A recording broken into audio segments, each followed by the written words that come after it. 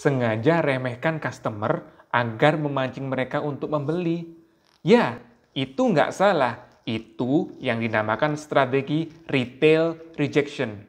Strategi ini sering dipakai oleh brand-brand mewah atau luxury brand di mana sales atau CS mereka sengaja mempunyai SOP untuk meremehkan customer yang datang. Terutama customer yang tampilannya yang nggak banget atau sederhana. Contohnya nih, kita nggak disambut, ya kan? Terus kemudian pandangan yang sinis, atau bahkan dengan kata-kata verbal seperti, hmm, yang ini harganya agak mahal loh pak, bu.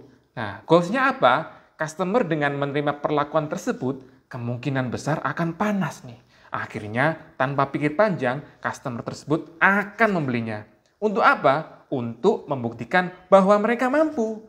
Yup, retail rejection ini memainkan sifat dasar manusia yang ingin acceptance atau pengakuan dan juga layak untuk menjadi tribe dari brand tersebut.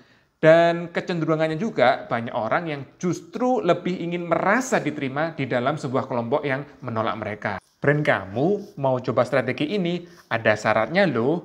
Apa itu? Cek caption ya.